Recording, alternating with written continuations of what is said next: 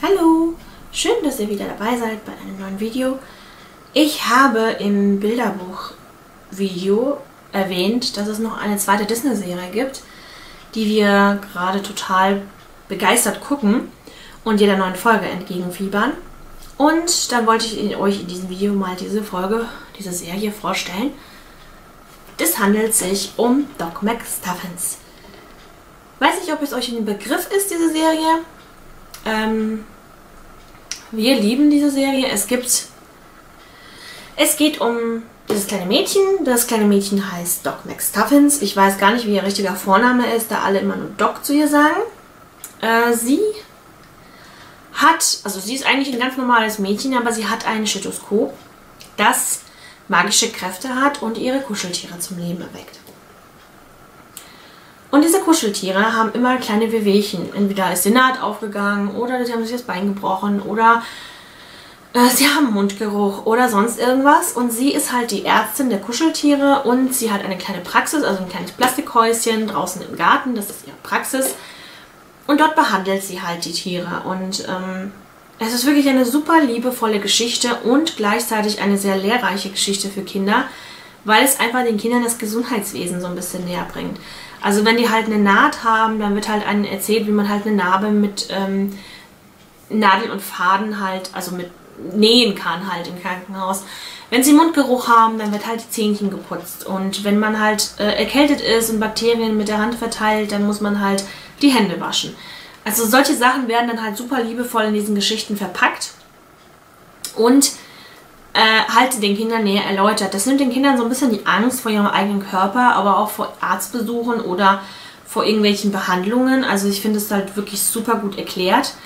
Ähm, Hauptprotagonisten sind halt, äh, also die Hauptprotagonisten sind halt die, äh, die Doc, die Helly, das ist die Krankenschwester, die Lemmy, das ist das Lämmchen, das immer halt alle umarmen möchte der Chili, der ein kleiner Hypochonder ist, der immer Wehwehchen hat und glaubt immer, er muss gleich sofort sterben. Äh, und Stuffy, der Drache, der eigentlich vor allem Angst hat. Und alles dreht sich halt rund um diese Hauptprotagonisten, aber in jeder Folge der Serie kommt halt eine andere, eine andere Person dran, die ein Wehwehchen hat.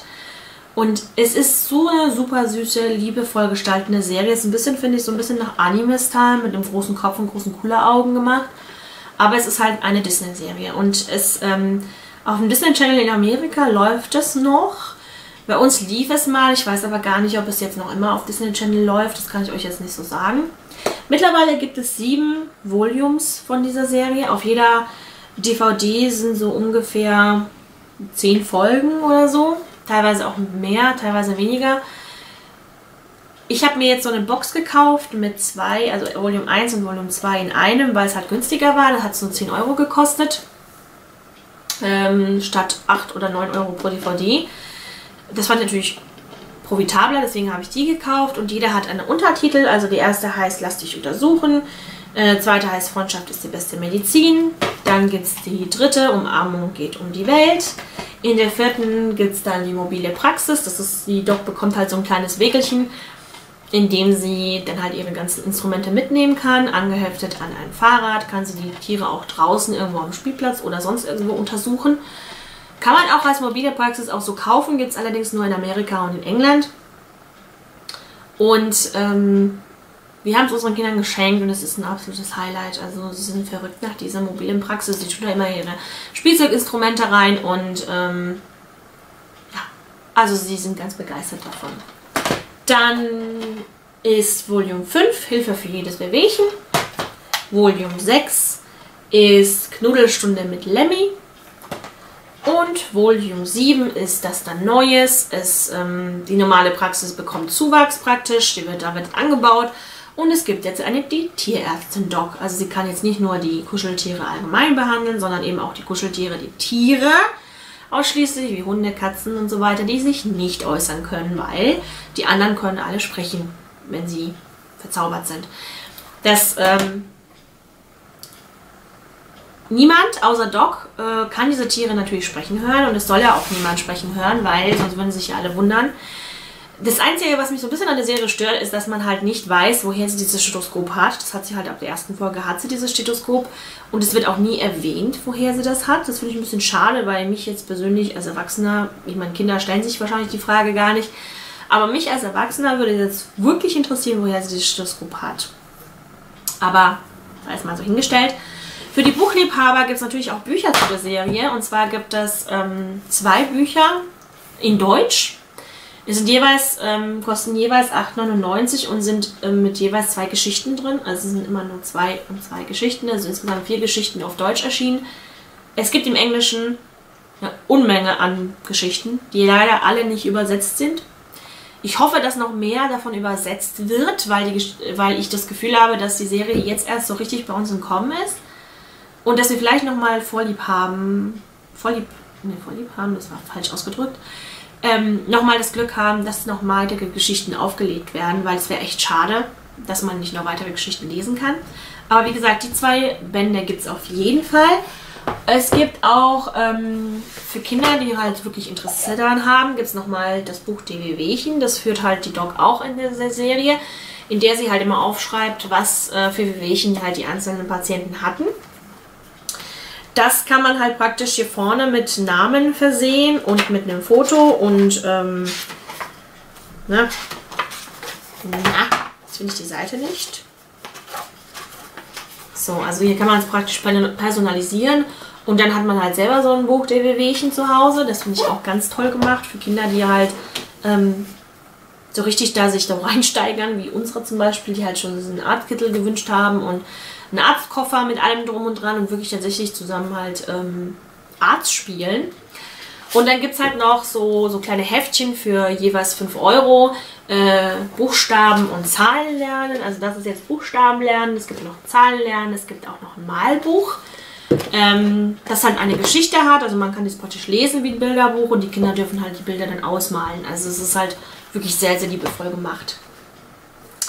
Es gibt noch äh, für die Zeitschriftenleser gibt es auch noch so kleine Heftchen, so Zeitschriftenheftchen, die gibt es halt immer mit so Beilage. Hier war jetzt eine kleine Figur und eine Tierwaage drin, also angespielt auf die Tierärztin, die jetzt gerade ähm, die neuesten Folgen sind. Äh, gibt nur zwei im Deutschen, von daher denke ich, dass da vielleicht noch weitere kommen werden, kommen aber sehr unregelmäßig. Also ich habe halt ewig lang gewartet auf den zweiten Teil, das ist jetzt halt die aktuellste ähm, Ausgabe. Und darauf hat man echt lange gewartet zwischen den ersten und jetzt der zweiten. Aber die Kinder freuen sich trotzdem jedes Mal, wenn sie so eine Zeitschrift auspacken können.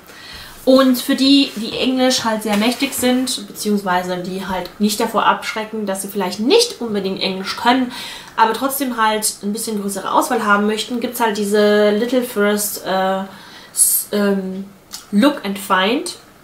Davon gibt es in Deutschen soweit ich weiß, die Unsichtbaren, Cars und ähm, der Disney-Prinzessinnen. Das gibt es leider nur auf Englisch, äh, das Doc McStuffins, aber das tut ihm ja keinen Abbruch, weil der Text ist halt nur ganz kurz. Also wir haben es jetzt simultan einfach übersetzt für die Kinder beim Lesen. Eigentlich geht es ja hauptsächlich darum, dass man halt die Gegenstände hier in dem Buch findet. Natürlich ist es jetzt ein kleines Büchlein mit nur ein paar Seiten, das äh, schaut man ganz schnell durch, aber, Entschuldigung, bei unseren Kindern war das jetzt so, dass sie halt nach der Weile am Anfang immer gesagt haben, da, da, da.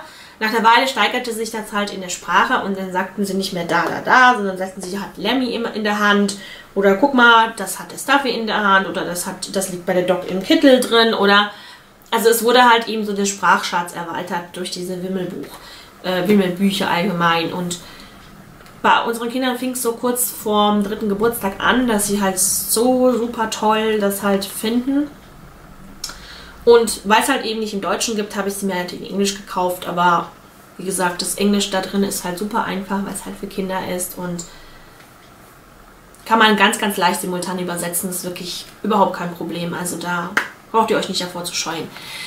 Andere Geschichten äh, gibt es en masse. Es gibt eine Wintergeschichte, es gibt eine Weihnachtsgeschichte, es gibt alle Geschichten, die es halt praktisch als Videofilm gibt, gibt es als auch Buch, aber leider halt nur im Englischen. Das ist dann halt komplett in Englisch. Da würde ich halt empfehlen, wenn man halt die englische, der englischen Sprache mächtig ist, greift drauf zu. Für uns ist es halt nichts, weil unsere Kinder halt kein Englisch können. Aber es gibt ja noch genug andere Sachen mit diesem Bereich. Es gibt ja an Merchandise-Artikel kann man sich damit echt zumüllen. Da muss man halt vorsichtig sein, dass die Kinder nicht alles mitbekommen. Wir haben auch so eine große Disney, ähm, also Doc McStuffins Figur, die halt singen kann und halt das Anfangslied singt und halt die anderen Lieder singt und dann sagt sie, lass dich untersuchen und ähm, ja, also es gibt en masse an Merchandise-Artikel, also da geht einem nicht der, die äh, Geburtstagsgeschenke aus, wenn man die Serie guckt.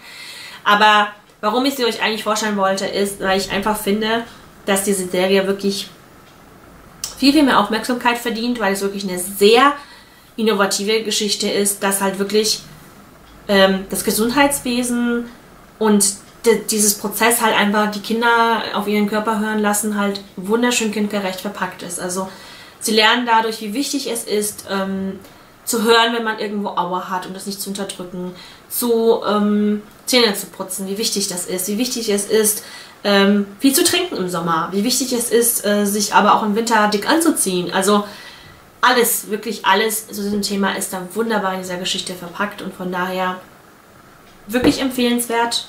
Schaut euch die Serie mal an, wenn ihr Kinder in diesem Alter habt. Freunde von uns haben, wie gesagt, schon eine Sechsjährige, die, ähm, die auch toll findet. Also von daher ist es auch für etwas größere Kinder was. Wirklich eine empfehlenswerte Disney, das hast du gut gemacht. Tschüss, bis zum nächsten Video.